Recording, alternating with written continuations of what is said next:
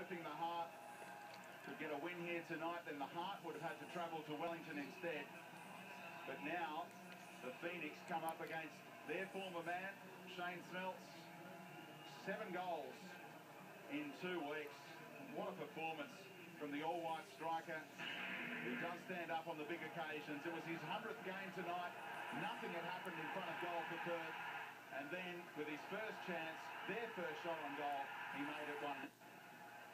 Second was controversial. Clint Bolton not convinced Robbie Slater. Yeah, that's interesting what he just said. From, from what I saw, from one of the replays we had, it looked like the ball and the whole of the ball had crossed the line. They didn't seem to complain much, but it was an amazing header. And then Smeltz capped it off with a, well, he didn't even have to make a run, and sometimes you just stand still. That's what he did. And he got his third and his hat-trick. It was another Smeltz.